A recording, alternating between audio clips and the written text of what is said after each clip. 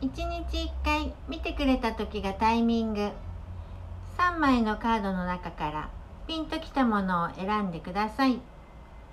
1番2番3番です。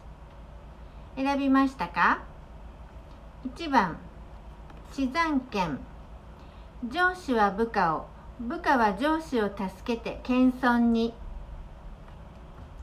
2番自宅林幸運がそこまで来ています。最後まで油断しないで進みましょう。3番天水晶争い訴訟が起こる予感。仲直りしたければ自分の意地を張るのをやめましょう。です。参考にしてください。それでは今日はこの辺でごきげんよう。